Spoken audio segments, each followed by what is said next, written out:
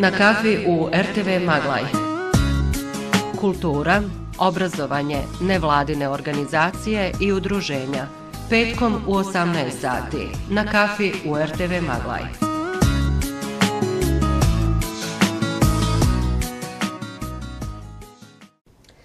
Na kafi u RTV Maglaj ovog petka je Eldina Mehinagić iz e, službe za boračko-invalidsku socijalnu zaštitu društvene e, djelatnosti općine Maglaj, tačnije šefica službe, pomoćnica načelnika. Eldina, dobro nam došla. Bolje vas našla. Velika služba, evo sad kad bi počeli nabrajati sve poslove, ja mislim da bi nam trebalo jedno pet minuta da nabrojimo sve i čini mi se jedna od većih službi, odnosno sa najvećim brojem ovih pododjeljenja. Pa sigurno da jeste jedna od službi koja se bavi najosjetljivim kategorijama stanovništva, a sama problematika ne samo u Maglaju, nego u cijeloj Bosni i Hercegovini govori da je to jedan veliki dijapazon. I svakako, eto, služba kao služba jeste velika, ali eto, mi nastojimo da riješimo sve što god možemo brže i više i da budemo zadovoljni svi.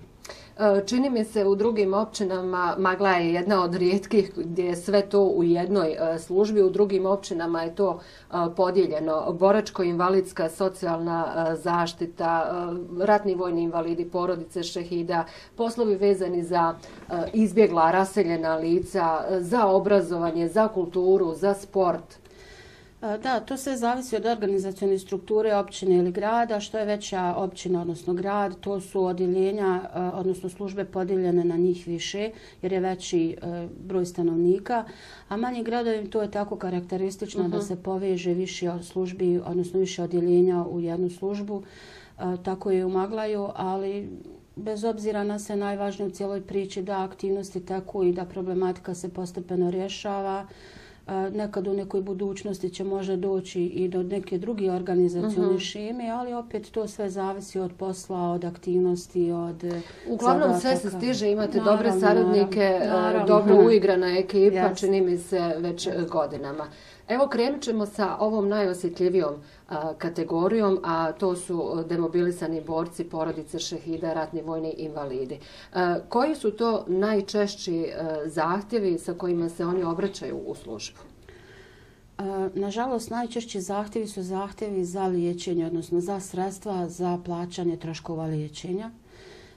I ovih dana je Ministarstvo za boračka pitanja Zenčko-Dobojskog kantona objavilo e, javni poziv da se mogu podnositi zahtjevi i naravno zahtjeva ima jako mnogo. E, to je jedan od onih naj, najznačajnijih. E, druge stvari su stambeno zbrinjavanje boračkih populacija.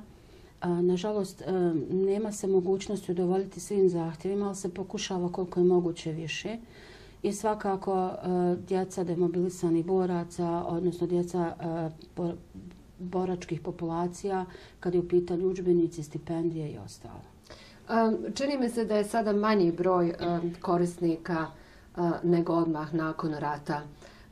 Roditelji, nažalost, stare, umiru, djeca odrastaju i izlaze iz tih prava, prava je li tako? Mm. A, međutim, evo, ostali su nam demobilisani borci, ostali su ratni vojni invalidi i kako rekao ste, najčešći su zahtjevi za liječenjem.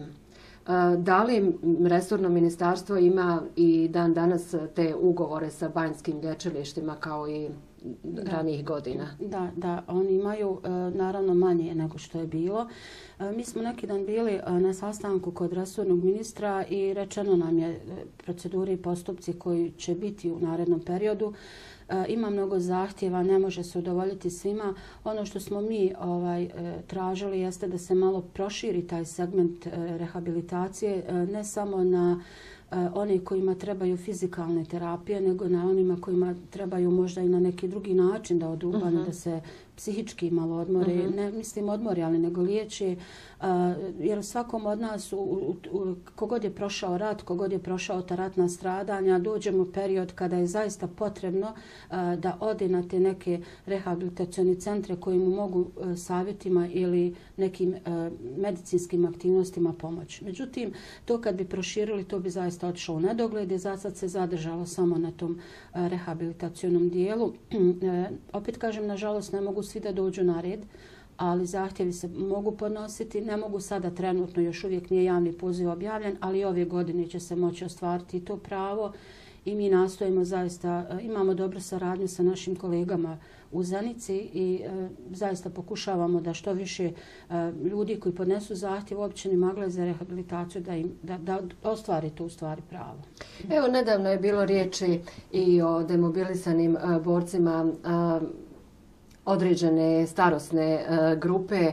Kako se njima e, pomaže? Oni koji su nezaposleni, e, da li postoji to neko samozapošljavanje, zapošljavanje ili neka pomoć? Postoji, onaj, kad smo, evo prvo da kažem, kod samozapošljavanja i zapošljavanja, to već odavno traje i to nemaju samo demobilisani borci pravo, nego imaju i djeca umrlih demobilisani boraca. Uh, najbolje bi bilo kogod je zainteresovan za takvu vrstu aktivnosti da nam posjeti i da mi razgovaramo sa njima da vidimo kakve mogućnosti imaju. A novi zakon e, o boračkim pravima doveo je do toga da postoji mogućnosti egzistencijone naknade, to je za tu određenu kategoriju demobilisanih boraca. Ima tu biće još izmjena i dopuna u korist demobilisanih boraca i supruga umrlih demobilisanih mm -hmm. boraca što na našu sreću to sve ide ovaj onako kako ne možemo reći kako mi želimo tim tempom, ali ide na način kako bi mi željeli da se, se rješava u smislu da budu uključene kategorije. Vrlo brzo se očekuje i uredba sa Zeničkog dobojskog kantona gdje će moći i oni demobilisani borci od 40 do 57 godina ostvarivati pravo na egzistencijnu naknadu. Mi još nemamo nekih posebnih instrukcija kako će to da bude, ali imamo instrukciju u smislu da razmišljamo i da svoje predloge dostavimo nadležnom ministarstvu. Meni je drago što se misli o toj kategoriji na takav način. Sada su stvoreni uslovi da se to može. Svake godine je sve manje učenika koji ostvaruju pravo na učbenike studenta i automatski se ta sredstva koja se opredjeljuju za te svrhe polako prebacuju na ove Preusmjeravaju se na druge, da. da. I to je dobro što su oni, što su svi razmišljali na takav način.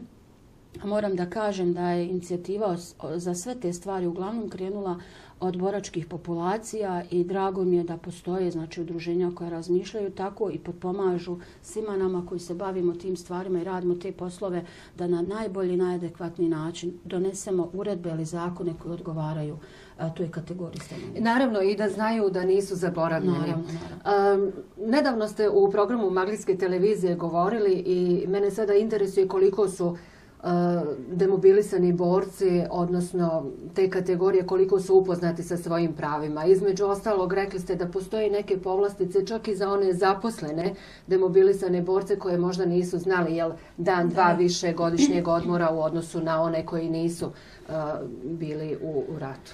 E, ovaj novi zakon o osnovnim pravama demobilisanih boraca e, nije mogao da obuhvati sve demobilisane borce. Mislim, ako ste proveli jedno određeno vrijeme e, u tim ratnim dešavanjima i dali sebe za državu, svakako bi država trebala nekako da misli na vas. Naravno, naš, mi imamo male mogućnosti, ali eto nastojimo na sve moguće načine da to poboljšamo. Mm -hmm.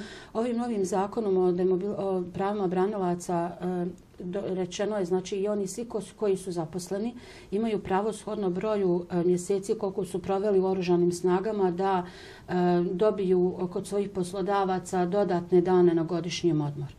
E, I mi u zadnje vrijeme imamo jako puno e, onih koji, nas, koji nam se obraćaju da vide pod kojim uslovima to mogu da ostvare i mi zajedno imamo dobru saradnju sa kolegama iz vojnog ocijeka, kako to mi uh mhm. -huh. kažemo, ovaj, tako da, da, da je dovoljno samo da oni donesu uh, uvjerenje koliko su bili pripadnici armije, podnesu zahtjev svom poslodavcu i poslodavac je po tom zakonu dužan da im obezbedi ta dodatan jedan, dva ili tri dana, zavisi koliko dana ste proveli, mjeseci koliko ste proveli oružanim snagama. Da, zaista, o mnogo čemu bi se moglo pričati i opširnije, ali evo već smo rekli e, toliko toga u službi, toliko tih dešavanja, toliko tih odiljenja, pa ćemo pokušati ono u najkraćem e, pojasniti našim e, gledalcima, ali svakako služba i zaposlenici su na raspolaganju e, svaki dan e, svojim e, klijentima. Nedavno su objavljeni e, javni pozivi za finansiranje, odnosno sufinansiranje e, projekata neprofitnih organizacija i udruženja e, sredstvima iz budžeta za ovu tekuću godinu. Da. Evo da kažemo da su u okviru službe i neprofitne, nevladine organizacije. e, to je jedan dio koji ja najviše volim. Ovaj, jeste, raspisan je i trajao je do 10. Uh, februara. Bili su dani otvoreni e, gdje su nevladne organizacije, stvari članovi tih organizacija mogli da pitaju sve što ih zanima. Međutim, to su organizacije koje već dugo godina sarađuju sa službom i sa općinom i oni vrlo dobro poznaju da se mogu uvijek obratiti za bilo koje vrijeme. E, meni je drago, zaista mi je drago, ja nastojim i vidim e, da i oni su ovaj spremni, svaka organizacija i udruženje da sarađujemo ovaj konkurs je zaista pokazao da, da sarađuje i služba i organizacije i udruženja i to mi je zaista jedan, ne meni, nego svim uposlenim i cijeloj općini, pogotovo našem općinskom načelniku koji je doveo do toga da postoji jedna dobra saradnja. E, javili su se svi sportski klubovi koji su e, već dugo niz godina e, aktivni. Ima klubova koji se nisu javili, ovaj, vjerovatno nisu se našli zainteresovanim, ali niti klubovi neće biti oštećeni u nekom segmentu. Uh, javile su, dosta je se javilo ovih udruženja, drago mi je, sa izuzetno različitim projektima, jer ja nisam tip koji ne volim inače, ne ja lično, nego nekako mi je ljepše kada ima različite aktivnosti eh, na našem, na, našem Maglaju. Kako su to projekti? Na što se eh, odnose uglavnom? Sportske organizacije uglavnom je vezano za omladinski sport, Odlično. invalidski sport je uglavnom vezan za sport invalida. Imamo boračke populacije koje su ove godine opet kažem, poprilično dobro odradile svoje projekte, uključili su dosta aktivnosti koje se oni bave. Svake godine je to sve više i više i bolje i bolje. Imamo civilne organizacije koje se bave određenom problematikom stanovništva i naravno projekti ovih organizacija od uređenja prostora, izgradnje igrališta za djecu, od socijalne inkluzije, kulturnih projekata u smislu organizacije kulturnih manifestacija, Ono što mi je drago, pojavili su se i udruženja mladih sa određenim projektima, e, ne samo sa prostora gra, grada, nego i na ostalih naseljenih mjesta. Odlično. E, e, I drago mi je što se pojavljuju udruženja koja ne djeluju samo u centru grada, nego djeluju i u određenim naseljenim mjestima, može čak i najudaljenijim. Uh, i to je veoma pozitivno da se na takvim mjestima dešavaju neke stvari. Tako je, malo, malo širine. I, i širine i u mjesne zajednice da. i u prigradska uh, naselja da ne bude samo dešavanja, jel tako, u gradu, a dešava se puno toga u gradu, između ostalog, evo, e, Eh, čini mi se atrakcija posljednjih dana je ovo klizalište. Kako da ne. E, mislim, klizalište kao klizalište doživjelo je i pozitivnih i negativnih kritika, nije ni došlo kako treba u Maglaj, međutim, kad je došlo, to se pokazalo jedan veliki plus. Vjerujte mi da svi mi koji koliko toliko smo vezani za taj dio, ne pruđe jutro da ne vidimo kakvo je vrijeme, ne znam kakva će biti vremenska prognoza, čak smo naučili tehniku zaleđivanja. Mislim, na sve moguće načine pokušavamo da zadržimo to klizalište. Kod nas, naravno, priroda čini svoje, ali ono što je meni drago jeste da će ono ostati e, sve do onog momenta dokle bude i prirodno moguće, dokle bude i zainteresovani djeci ili ljudi ili odrasli. Evo, sinoć sam bila, vidjela sam momke da se kližu.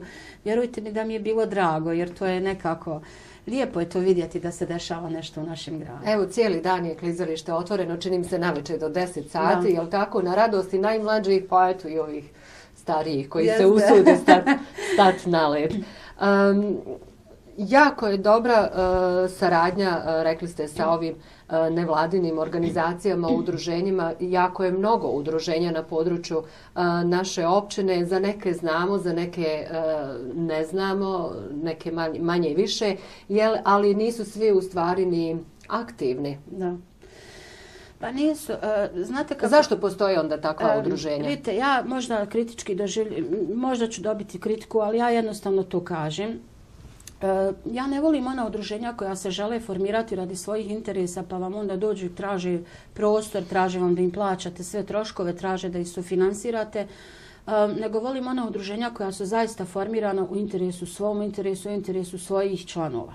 Uh, na sreću mi imamo takvih udruženja koja e, prvo pokažu da su aktivna, da se bore, imaju, imaju rezultate, rezultate krajeva, i onda se pojave sa sufinansiranjem ili se pojave sa recimo mogućnostu da im, da im nađemo prostor. Jedan od glavnih problema je gdje smjestiti ta udruženja. Uh -huh. Ima udruženja koja su registrovana, ali ne funkcionišu. Ja ne znam razloge zbog čega. Vjerovatno je možda malo i zakonska procedura ta koja, znate kako, kad funkcionišete i kad organizujete niz aktivnosti, kad se pojavi mogućnost da negdje putujete, onda su odjednom svi članovi pojave koji nikad nisu bili aktivni. Znate, ja sam predsjednik Skupšnja, ja sam predsjednik nadzornog uh mhm. -huh. odbora ovam, ali kada se pojavi generalno problem u tom udruženju, onda nema nikoga.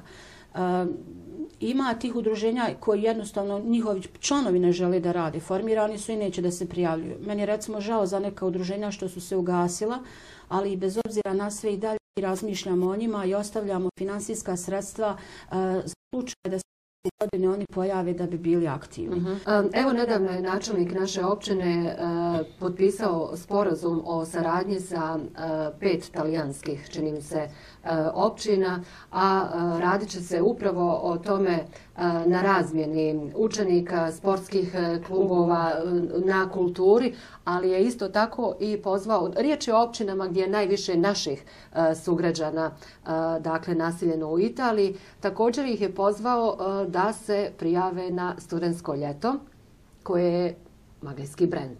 Da. Uh, posljednjih godina to je uzdignuto na uh, viši nivo, odnosno na nivo koji studentsko ljeto u Maglaju i zaslužuje. Uh, ja sam nekako posebno vezana za studentsko ljeto. Kad pričam o njemu, pričam kao ne, da ne ispadne sad suviše ono, da je moje, da ne ružno je to da kažem, studentsko ljeto je svih nas Maglajlija, ali ga ja zaista doživljavam na jedan poseban način. Uh, Eh, ja sam radila sa ljudima koji su mene učili kako voditi studentsko ljeto, između ostalog naš Rahmetli Dinko Čizmić je osoba koju treba spomenuti u toj cijeloj priči Hanu. Eh, naravno, načelnik općine je eh, dao nama slobodu i mogućnost da uradimo sve kako bi to studentsko ljeto bilo na tom nivou. Teško je biti organizator bilo kakve manifestacije, pogotovo jednog takvog brenda. E, lijepo je kada se pojavljuju e, naši ljudi koji žive u inostranstvu, pojavljuju se kao učesnici festivala, e, jer malo ova manja omladina, da kažem, slabo zna šta je taj festival, Zato bih ja i voljela da se na neki način pojavljuju ljudi koji su odrastali u studentsko ljeto, da znaju, da im mi pokažemo kako je se to družiti. Lijepo je to, možda oni nemaju ni priliku, niti su imali priliku da to vide, ali se ja nadam da će i ove godine to obasjeti kao što je bilo i prošle godine.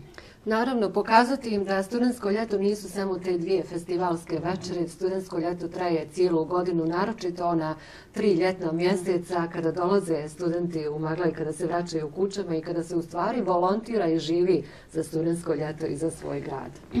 Malo je se izgubio pojam volontiranja u zadnje vrijeme.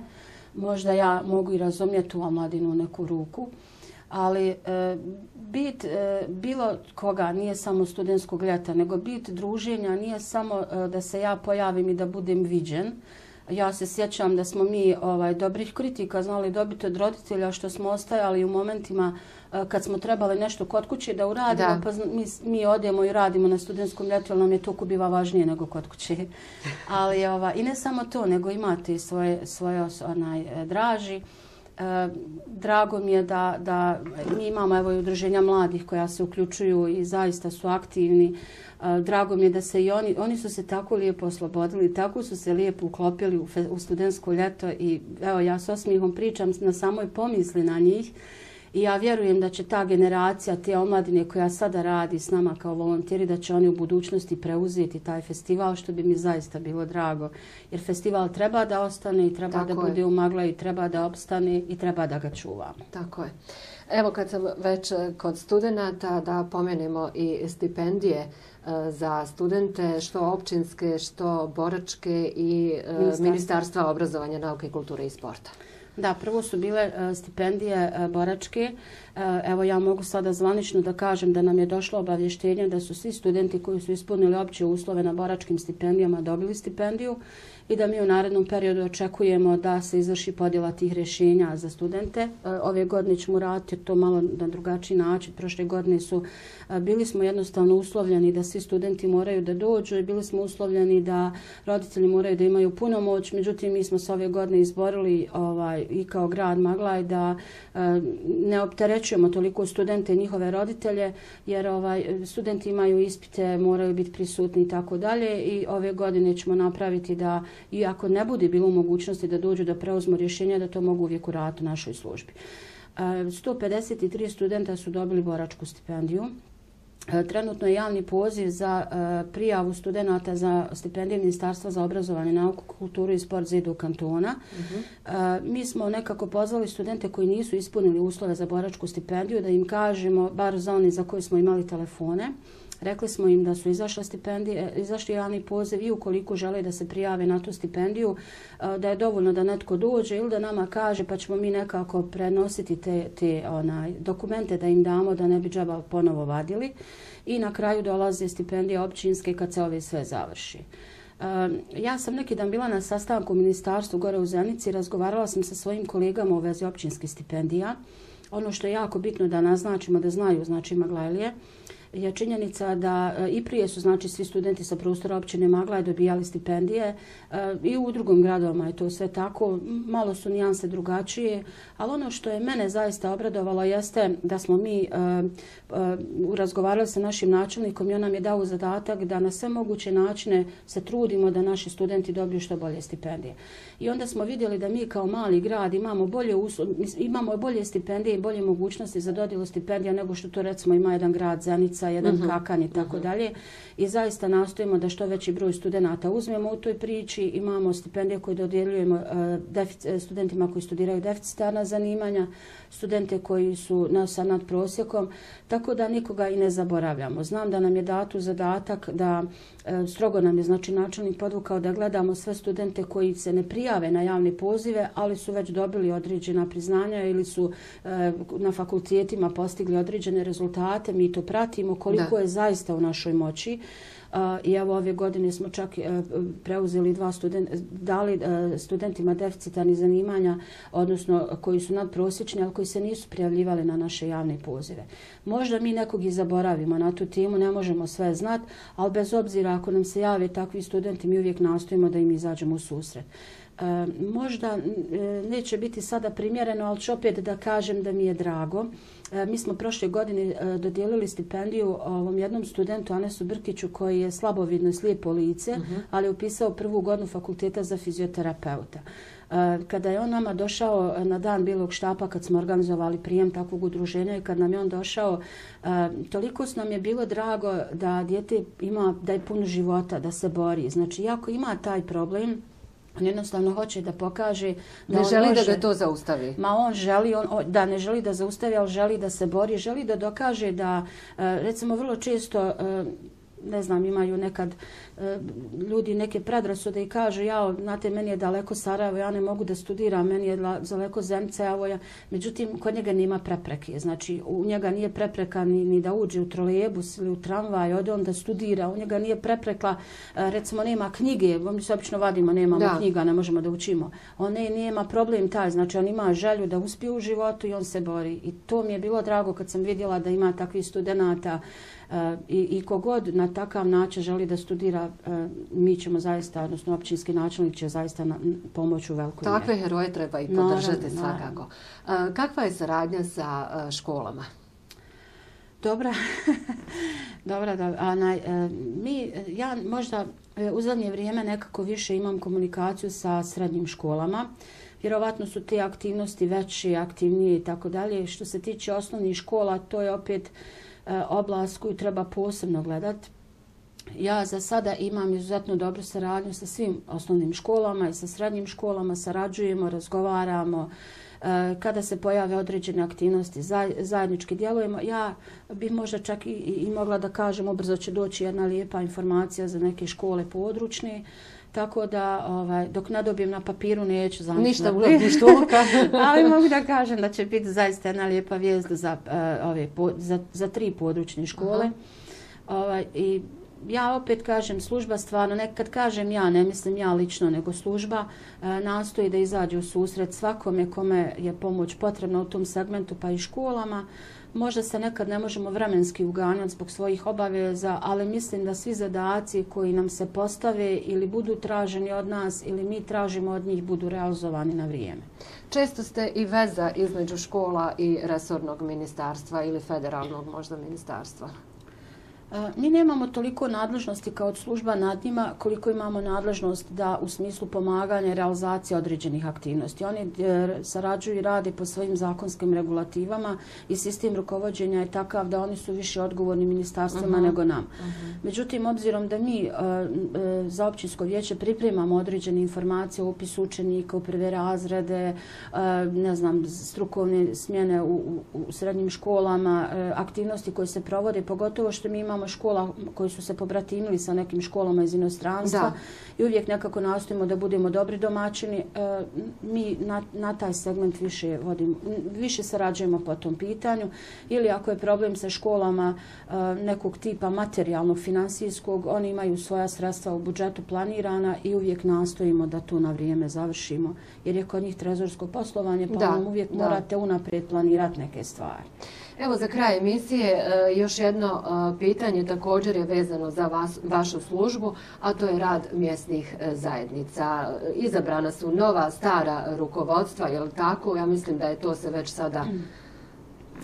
Ili će i to na vijeću biti nastavku sjednice? Prošle godine je donesena odluka o osnivanju, odnosno potvrđivanju mjesnih zajednica sa prostora općine Maglaj, na općini Maglaj. E, to je problematika koju zaista treba prilaziti studiozno, e, ide to korak po korak. E, mi smo prošli, evo sad će biti informacija o, radu, o aktivnostima po pitanju rada mjesnih zajednica. Mislim da, da općinsko vijeće će ubrzo donijeti određene aktivnosti koje treba da se prethode, jer mi imamo puno sa terena ona, informacija u smislu da je zaista potrebno da mjesne zajednice profunkcionišu u pravom smislu riječi, jer i same mjesne zajednice kao pravno lice imaju mogućnost da apliciraju za određene projekte.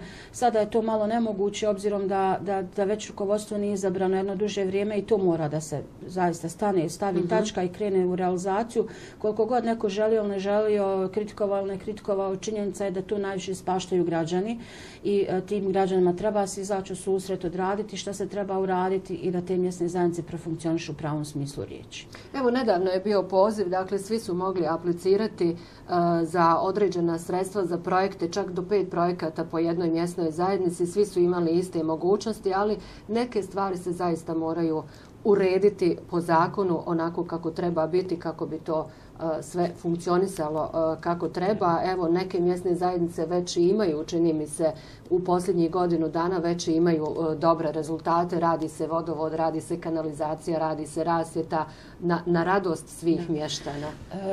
Ja moram da kažem da Ja sam radila u organima uprave dugo godina i e, ne samo ovdje nego i na prostoru RS-a. E, ono što se meni dopalo ovdje jeste taj sistem općinskog načelnika koji je rekao da e, ukoliko vidi da građani rade na terenu, općina je spremna pomoć. Tako je. E, nekako sam osoba eto, koja bude na prijemu stranaka i vidim da u zadnje vrijeme kada razgovaraju sa njim građani vrlo rado dođu i kažu znate mi smo skupili toliko, možete li nam pomoći? Mm -hmm. I kada to čujete od građana sa terena, ko ne bi onda izašao u susret i rekao evo, to mi je veoma drago što je uvedeno. Eh, ja sam na to došla onaj, na takav sistem i vidim zaista da je od strane eh, svih nas eh, spremni smo maksimalno pomoć. Neke se stvari ne znaju, mora se to odrati niz aktivnosti, projekata i sve ostalo, ali su građani spremni da to urade, bar ono koliko mogu, pa onda jedno po jedno, jedno po jedno. To je onaj sistem kao nekad bil vaktile, što se kaže. Uh -huh. uh, ukoliko želite da vaša lokalna zajednica prefunkcioniše, vi se morate nekako pobrinuti sa tim. Tako da, da mi je zaista lijepo da, da, da, da se radi, da su aktivne i da građani sami iniciraju taj, taj dio, a općinski načelnik to podržava. Kad se male ruke slože, sve, sve se može. Eldina, hvala mnogo na ovom razgovoru. Bilo mi je ugodno, a nadam se da će i naši gledalci biti zadovoljni. Hvala i vama na poziv. Gledajte na svakog petka od 18 sati u programu televizije Magla, a sve propuštene sadržaje pogledajte i na našem YouTube kanalu. Hvala za pažnju na kafi u RTV Maglaj. Kultura, obrazovanje, nevladine organizacije i udruženja. Petkom u 18 sati na kafi u RTV Maglaj.